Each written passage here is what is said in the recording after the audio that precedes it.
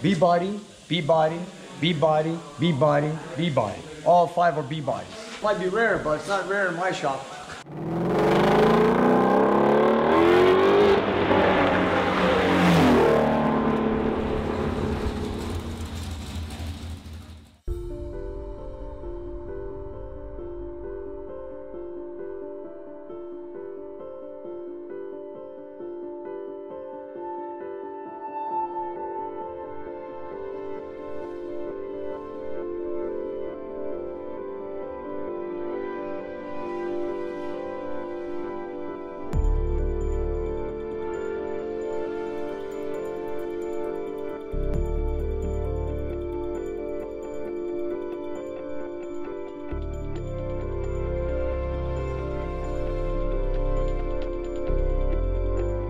Check out the 68 Coronet that came into the shop this week.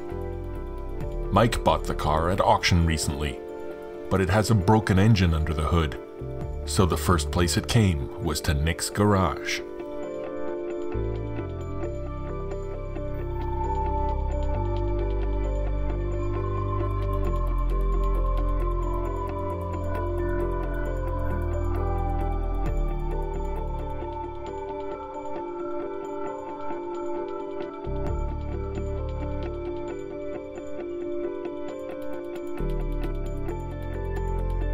And look what we've got in this week. 1968 Dodge Coronet RT, equipped with a 440, 4-speed, Dana 60. So here it is, 68 Coronet with a 440 Magnum. This should be an 18 spline 4-speed with the console right over here. All original stuff. And equipped with a Dana 60. There it is. That's the way it comes from the factory. 440, 4 speed with a Dana 60. That's the package you get on a 68 Coronet with a 440 Magnum. These are all desirable pieces. A lot of these cars, I believe, were made with automatic transmissions. But Mike, what he's got here is a four-speed car. I believe it's uh, original paint and also the original motor. So we don't know yet. We're gonna pull it out and find out if this engine is really original to the car or not. He brought it here because uh, he just bought the car and uh, he told me that he took out the spark plugs and he found cylinder number one all bashed up on the spark plug. Come and see this. Take a look. I don't know what's in that cylinder. So right now we're gonna start taking it apart and see what's going on. Apparently, it's supposed to be a matching number motor to this car. I know it's a 67 casting for a 68 car. So what we're gonna do right now, Leslie and I, we're gonna start removing the engine take off the cylinder head to see what went wrong. Well, I don't know, from what I think, maybe it was star parked for a long time, storage, maybe a valve was stuck open, cranked it over, tried to start it, the valve hit the piston, could have dropped in, smashed the cylinder, because when Vasily drained the oil from the oil pan, a lot of antifreeze came out of it. So we know there's heavy damage in there. So we're just about to get started, take it out, put on an engine stand, and take it apart, and let's see what we've got. So Mike, stay tuned. Let's take it out. Yo, yo, yo, yo.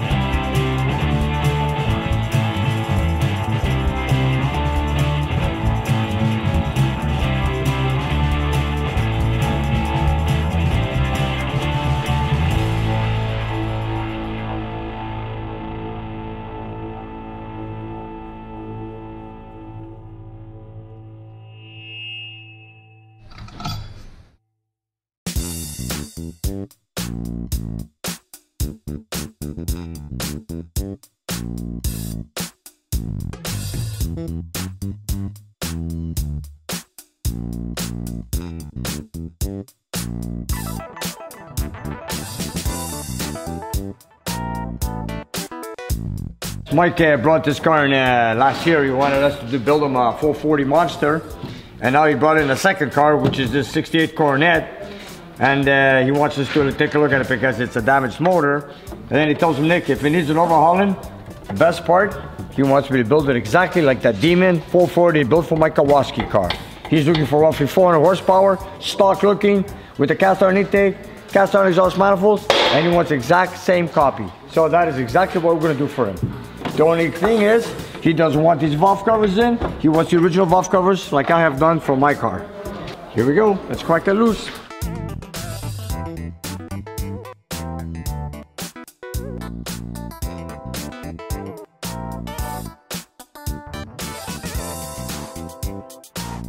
Nick is curious to see if the engine is numbers matching to the car. But as he watches the 440 coming out of the engine bay, he's already starting to suspect that it's been tampered with. I see a new oil pump here, and I see a new water pump. And I'm curious to see if this engine is matching number. Because for what I see, I see it blue underneath, aqua blue. Okay, let's go.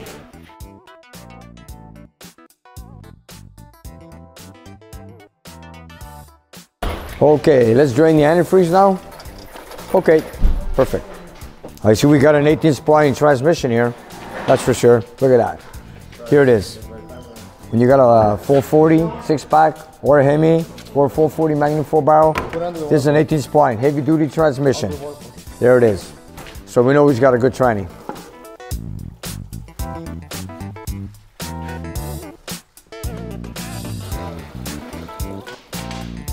Okay, that's it. Now get the plugs, 916s, and drain the plug.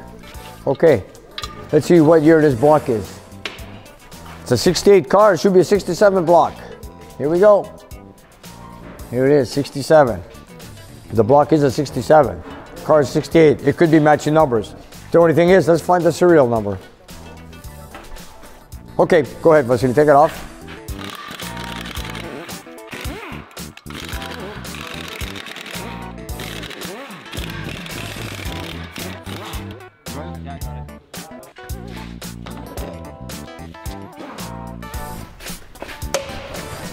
Look at that, eh?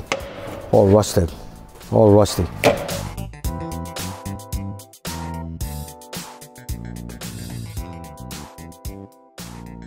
With the clutch out of the way, Nick can get a look at the numbers stamped into the block. And the good news is they match those on the dashboard.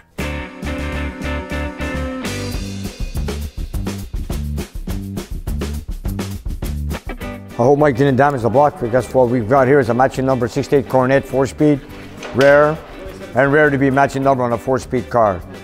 So I can't wait to remove the cylinder head and see what we've got under there. Wow. There it is. It's all there. Yes, it is. It's right here. Okay, we're just about to take apart the uh, 440 here from Mike. As we can see, oh, we all know now it's a matching motor to the 68 Coronet. So we got some damage in this cylinder here, number two. So now Vasily and Oliver are gonna take it apart and see what we've got in there.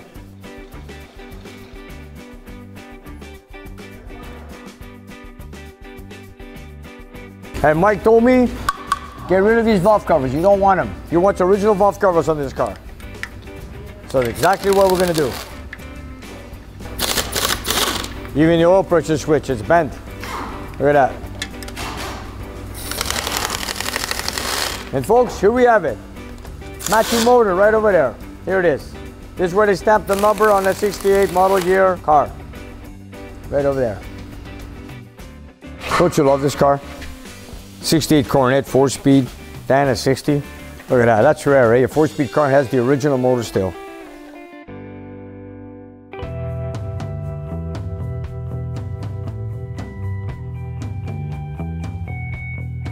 Look at that, long bolt.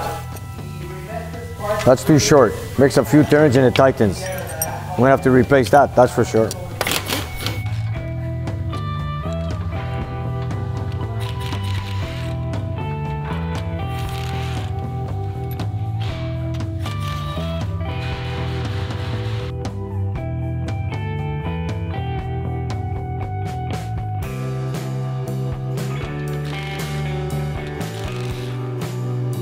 What do you think happened in there, Beth?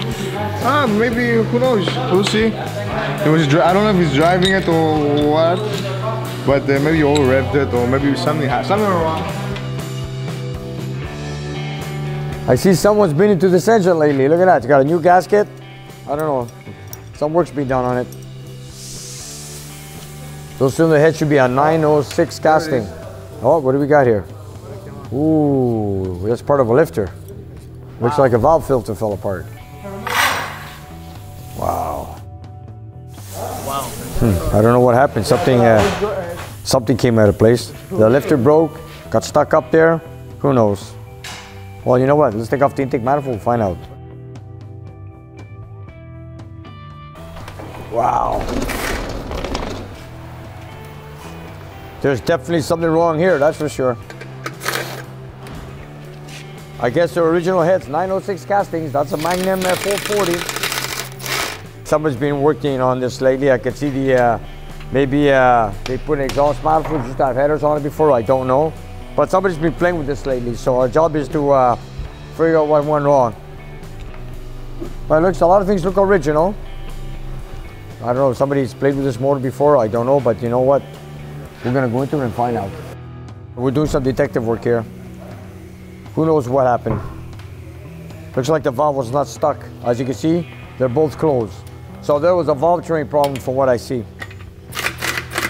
And you guys don't stand above here just in case uh, it lets go. Don't stand, uh, don't stand above this, be careful. In case there's no cylinder head on the, I mean if there's no cylinder head on the valve, it's gonna come flying out, be careful. I doubt it, but don't take any chances.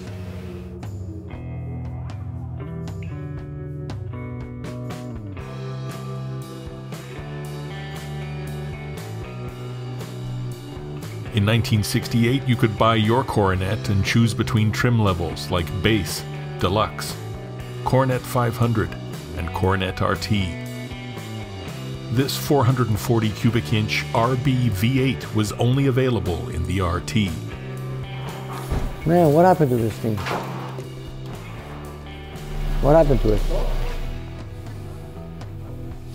Take a screwdriver, break the gasket off, Vasily. Somebody put a header gasket with an exhaust manifold.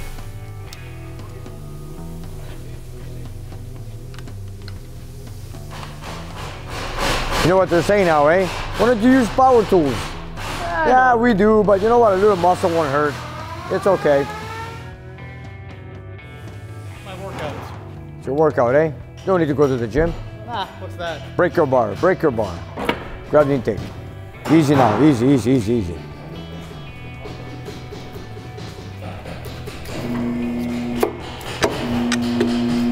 Hold on. Break it on your side. That's it. Take your time. I don't know why they stuck it. Don't need to stick it. Okay, give me that now. Let's see what the problem is. Hold on. Okay, just put it on the table right there. Yeah, somebody's been into this motor before, because this is not factory when you got silicone on the ports. As a matter of fact, Can do the job by itself. gasket itself, yes, it does the job by itself. You don't need this. And then when you have an aluminum intake, you got a paper gasket that goes over the uh, valley pan gasket. So someone's been into this motor before. For what reason, I don't know, but we're gonna find out.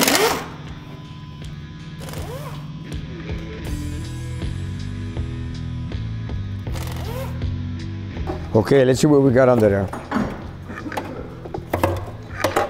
Wow, my God, man, I never stick them all like that. Here, take it out, uh, Oliver, please.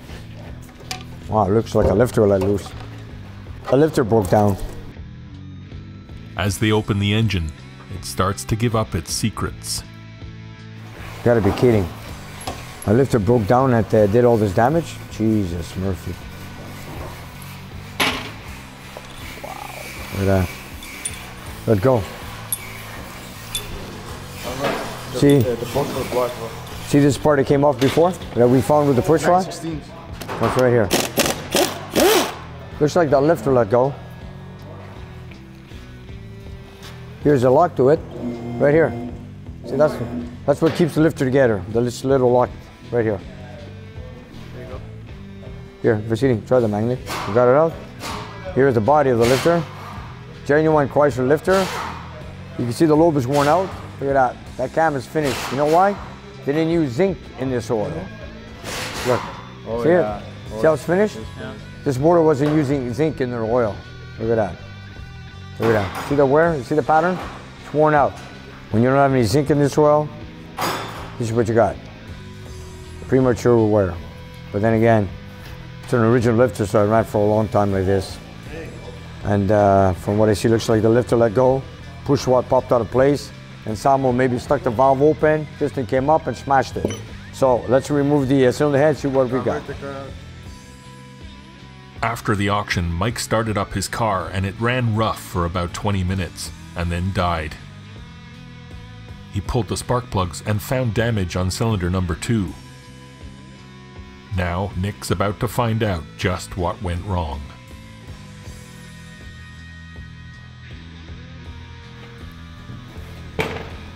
Oh my god. There's What? a bolt in there.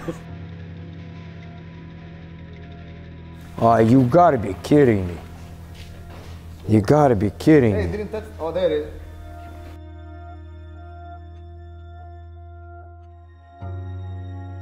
my god. Mike, you broke the piston? Oh my god.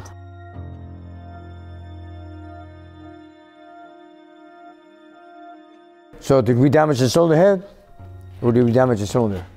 Let's see what we got here. Here. Okay, the cylinder head is damaged. This is what the, uh, this is how the antifreeze came into the oil.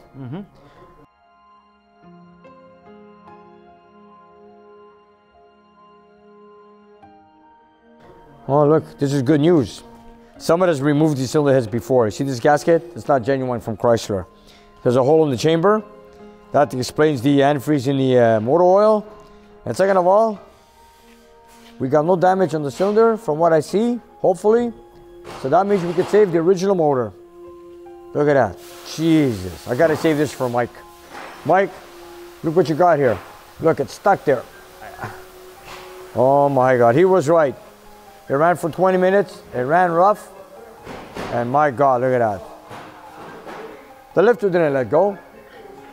Something damaged the lifter. From what we see, human error. This is what the thing is. This is human error. Look at the piston. It's all broken.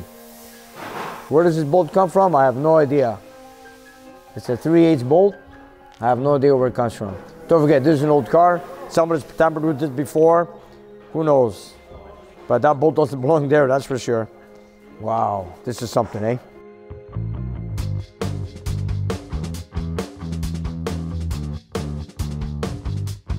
How did a bolt get there, man? It had to went through the intake.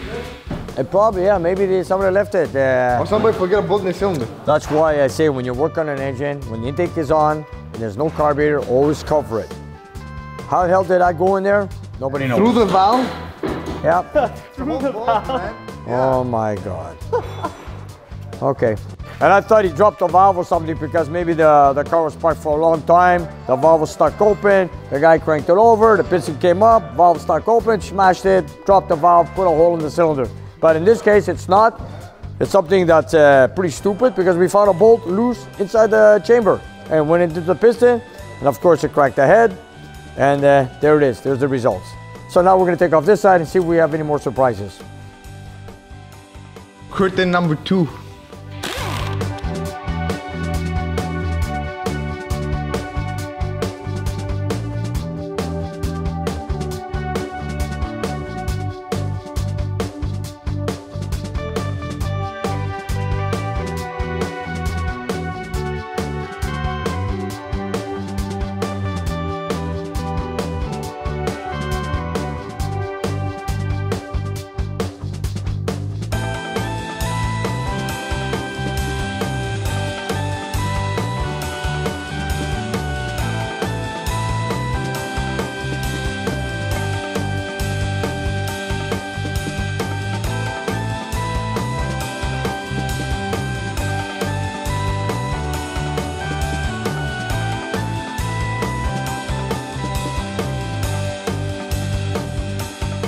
Want to make sure it's a standard bore or is it oversized?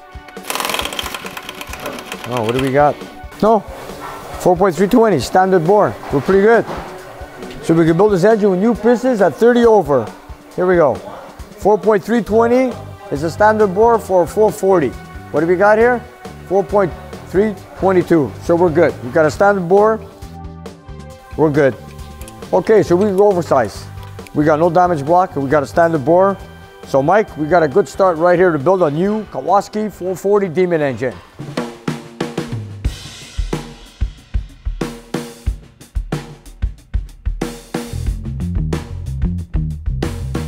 So what is wrong? The motor does not turn over? It's seized? Yeah. Okay, you know what? Take off the pan, drop it before you turn the engine over, okay? Drop the pan.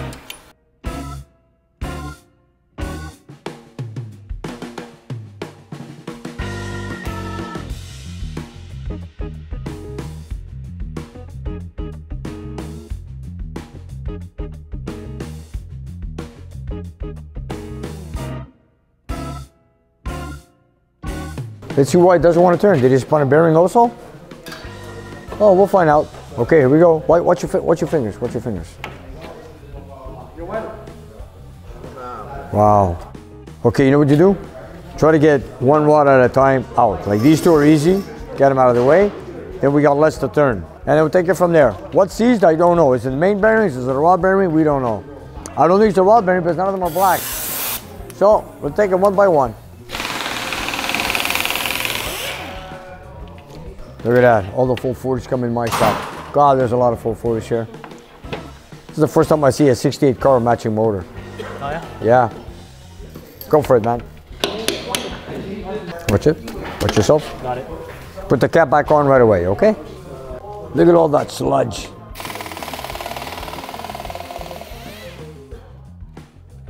Remember, uh, we go back a few videos.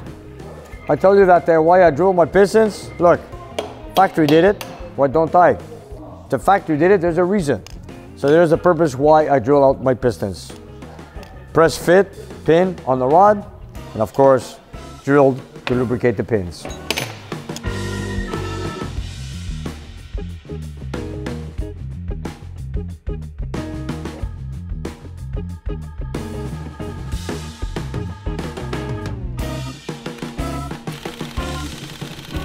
Seven of the 440's pistons come out of the old block without too much of a fight. But the last one, the one with the mystery bolt embedded in its face, isn't making things easy on the guys. So it's time for the big guns.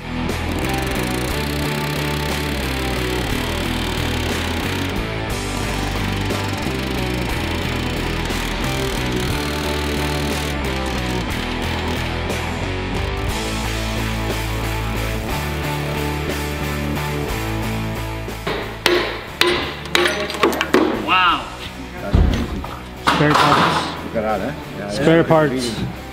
That piston sure took a beating, eh? Look at that. Look at this. Look at that. That's that's the bolt broke that. The bolt broke that.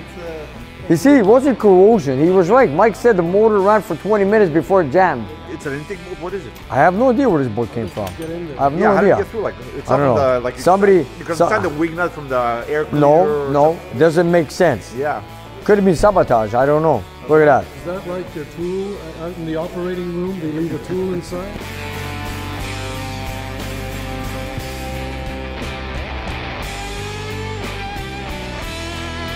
and it is a matching motor. And I believe the tranny is, and so is the Dana. So what we've got here is a 68 Coronet with original paint, original drivetrain, with a blown engine, but then we're gonna fix it. Seven original pistons. Seven original pieces, but they're all gonna go for scrap. We're gonna build it, and you know he wants it built exactly the way I built the 440 I built for my Kowalski, the Demon 440 test mule. He wants the same thing. Put some eagle rods, beat it, ported heads, cast iron heads, cast iron intake, exhaust manifolds cast iron, and of course the original air cleaner, and drive it. Mike is going to enjoy driving his Coronet someday soon. That's the magic that Nick holds in his hands. Even when a muscle car has been shot through the heart by a Class 5 bolt, it can roll down the road again with the help of a place like Nick's garage.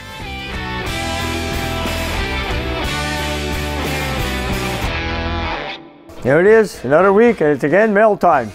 Okay, sometimes when we open up packages, it takes a couple of weeks to put them on the uh, our YouTube channel, but you have to have patience, give us some time, and we put every flag or every gift or every box that comes in here, we film it, and as they come in. This is one of my buddies who uh, watches us on YouTube. His name is Peter.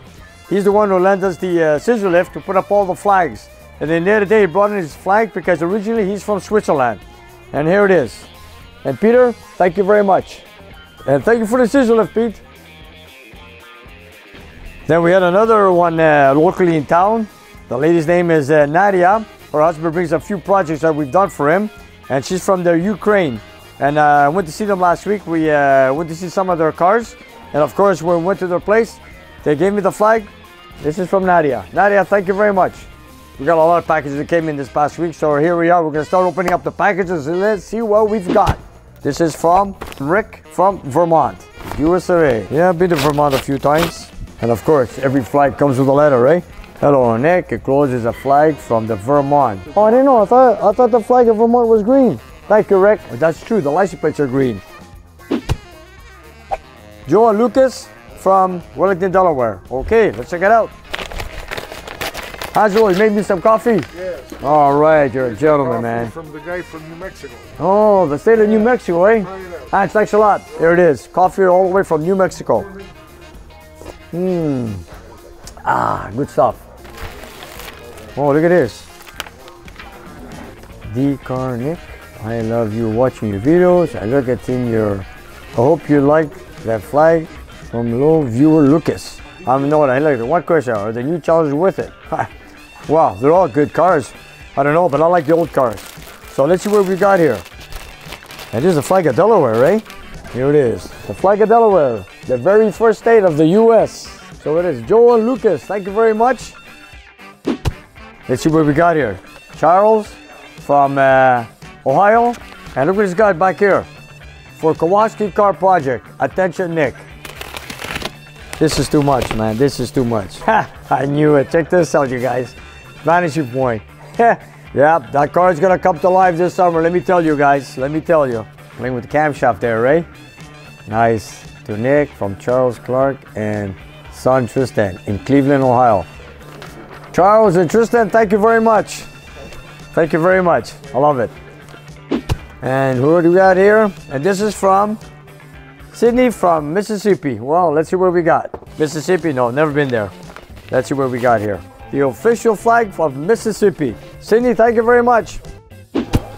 And what do we got here? A package from Mark from Baltimore. Whoops. What we got here, man.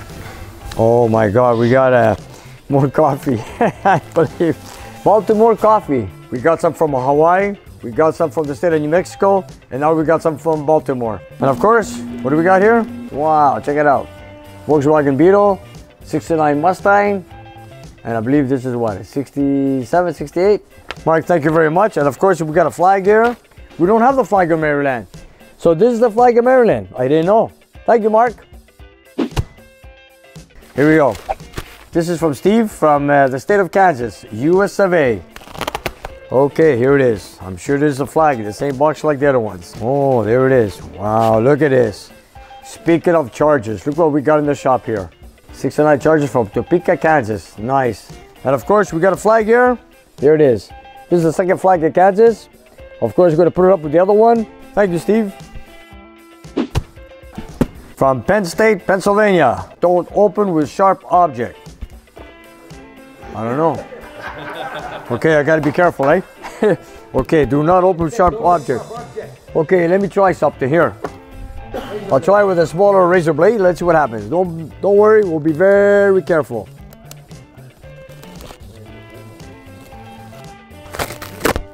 Wow. Marty. Marty, okay, let's see what you got sent. For Pennsylvania, thank you very much for the, the flag of Pennsylvania. Two coffee mugs. You know, I'm getting coffee from one place and I'm getting coffee mugs from another place. Not bad, eh? Here it is. The home of Groundhog, Punxsutawney, Pennsylvania. Oh, check this one out. Fill me up. Nice. Angelo, you want to make some more coffee? Here it is. Marty, thank you very much. And this one is from, wow, this is from Europe, Netherlands. Danny, I've kept every envelope. So if you go upstairs in my office, you take a look, you're gonna see every package from around the world that I've uh, saved. And check this out.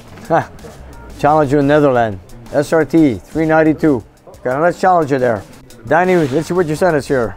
Wow, this is a big flag, eh? Danny, thank you very much. Here it is, red, white, and blue. And here's another package from Amazon. I hope they have a return name. Made in China.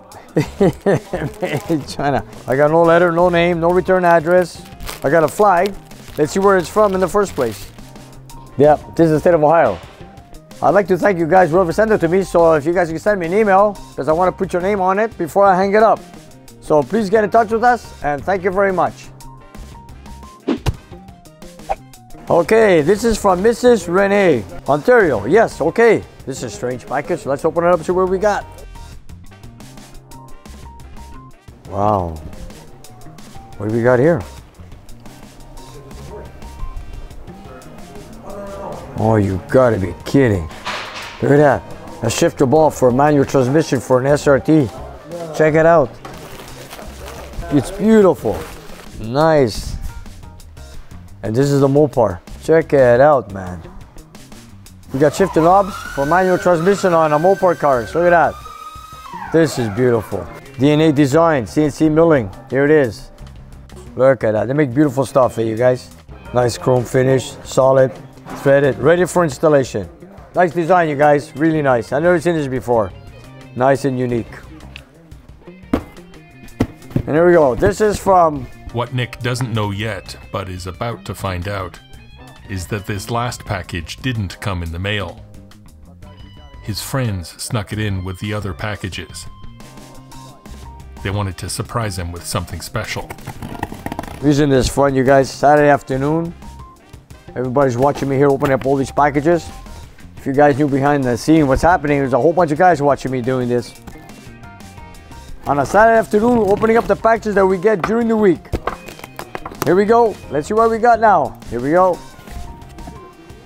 Wow, check this out. I've never seen this before. Let me check the letter. Here we go. Dear Nick, we wanted to drop in and uh, drop in a line, and you know how much we love you on YouTube videos, especially the Kowalski Challenger. Here we go again. Yeah, you really deserve your dream car. Thank you. Wow, check this out. We've been your fans way before you made your first video. Here are a couple of things from the guys who knew what a great guy you are right from the start. Your biggest fans. Wow, check this out. Look at this. There it is, the Challenger. That our white Dodge Ram and it's ready to put it in. No, I never seen that one before. Oh, we, there's more. There's more. Oh boy, let's check this out. Here it is. Oh my God. Look at that. It's from us, Nick. It's the real thing. No, wait a minute. Look behind. It's for your car. You gotta be kidding me. Look at this. Here it is. Oh my God, look at this. Paul, man, it's Mercedes. This is was all Al's idea. You gotta be kidding. Kept us all in the loop. Look at this. You gotta be kidding me. Wow, thanks a lot, you guys. Thanks a lot, man. And I never, I didn't, I didn't plan any plates yet, but this is the white plate for the car, right? This is a four-month project with your wife in it too. Are you kidding me, man? Yeah. My wife knows about this yeah. too? Your daughter knows about Oh it. my God, check it out. Everybody's put their name on it, eh? Unreal, man. Wow, check this out, man. Personalized So, license plate for your challenge. So now I got no choice but to put it up, eh? Well, looks like it's gonna go in the car. There's no question about it. You know, it's gonna go in one car and only one car. And everybody knows which one that's gonna be. Wow, personalized plate from the gang. Look at that. Of course, now I understand.